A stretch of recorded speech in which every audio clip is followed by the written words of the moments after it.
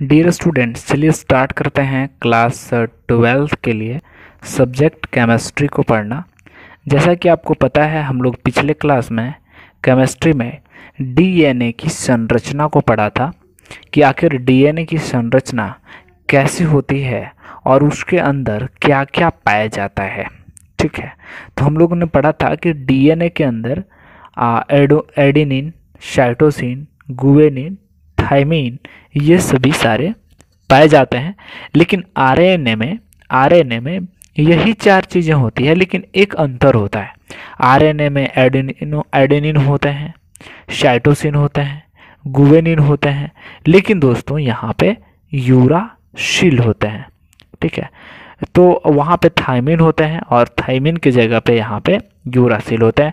तो आज हम लोग पढ़ेंगे आर एन ए के बारे में, यानी कि टॉपिक बनाएँगे आर एन ए की संरचना। आर एन ए की संरचना। और आर एन ए का पूरा नाम भी हम लोगों ने पढ़ा था कि आर एन ए क्या होता है तो राइबोज न्यूक्लिक एसिड। तो चलिए इसके बारे में हम लोग पढ़ते हैं। तो आर एन ए में लिखिएगा आर एन ए में आर एन ए में एक कड़ी होती है। अब दिखाते हैं कि कैसी कड़ी होती है। तो फ़र्स्ट एरो में लिख, क्या लिखे हम लोग कि आरएनए में कितनी कड़ी होती है? एक कड़ी होती है। और डीएनए में तो कई कड़ियाँ होती है। तो चलिए हम लोग आरएनए का बात कर लें। तो यहाँ पे हम फिगर ड्रॉ कर रहे हैं। तो फिगर ड्रॉ करेंगे कैसे? तो दो पेन को आपस में बिल्कुल सटा लेंगे, तभी हम लोगों को बिल्कुल फ्रेश डायग्राम बनता है। तो यहाँ पे हम लोग ये हुआ और ये हुआ, ठीक है।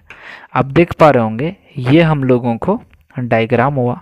इसको आप अगर कलरफुल बनाना चाहते हैं तो इसको हम लोग कलर भी कर सकते हैं, ठीक है। इसको कलरफुल एक एक साइड से कर सकते हैं।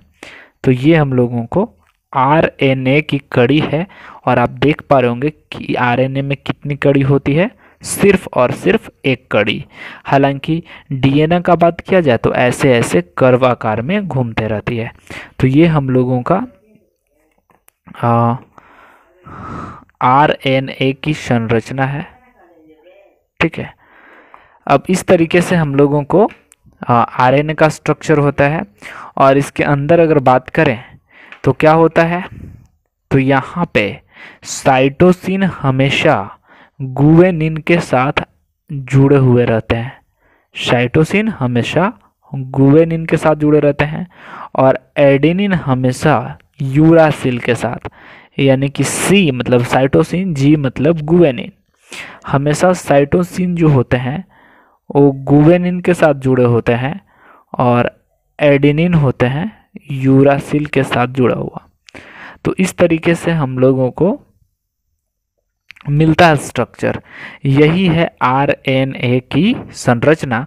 इसमें आपको याद रखना होगा कि इसमें साइटोसिन जो होता है, गुवेनिन के साथ और एडिनिन के साथ यहाँ पे यूरासिल और बीच में जो यहाँ पे गैप होता है, सिर्फ़ सेम चीज़ डीएनए की तरह यहाँ पे हाइड्रोजन बंधन के द्वारा ये भस्म जुड़े हुए रहते हैं। यानी साइटोसिन के साथ गुवेनिन और एडेनिन के साथ यहाँ पे यूरासिल से जुड़ा रहता है, जबकि डीएनए में एडेनिन जो है थाइमिन के साथ जुड़े रहते हैं। अब चलिए उसके नीचे नेक्स्ट एरो स्ट्रक्चर बना लीजिएगा कि एक कड़ी होता है। फिर लिखिएगा आर एन ए के मुख्यतः तीन प्रकार हैं। एरो देकर लिखेंगे। आर एन ए के मुख्यतः तीन प्रकार हैं। पहला, दूसरा, तीसरा। याद रखिएगा आर एन ए के कितने प्रकार? तीन प्रकार। एक का नाम है M R N A M R N A M R N A का मतलब हुआ messenger. M E double S A N G R messenger R N A ध्यान दीजिएगा एम फोर क्या हुआ? मैसेंजर मैसेंजर का मतलब मैसेज पहुँचाने वाला और राइबोज न्यूक्लिक एसिड। ठीक है? यानी कि आरएनए के कई प्रकार हैं, लेकिन पहला क्या है? एम आर एन एम का मतलब मैसेंजर राइ राइबो न्यूक्लिक एसिड, यानी कि मैसेंजर आरएनए दूसरा का नाम है टी आरएनए ठीक है? अब टी का मतलब क्या है? टी का मतलब हुआ transfer R N A transfer. Transfer.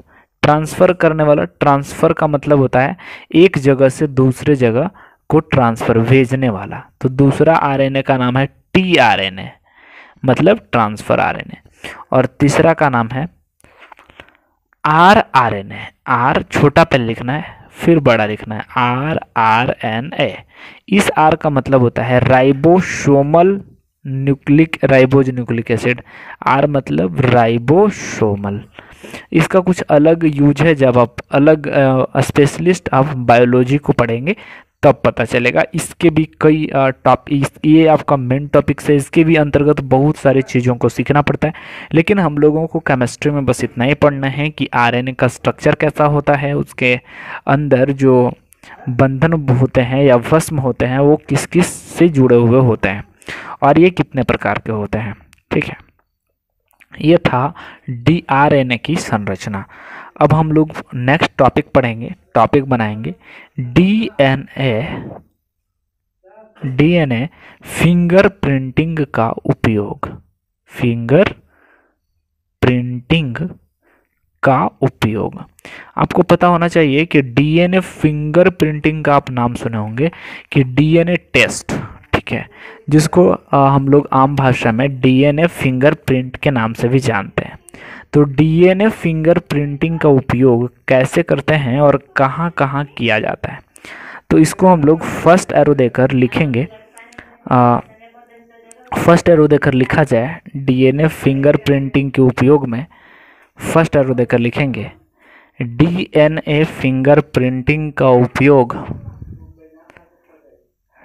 DNA finger printing का उपयोग।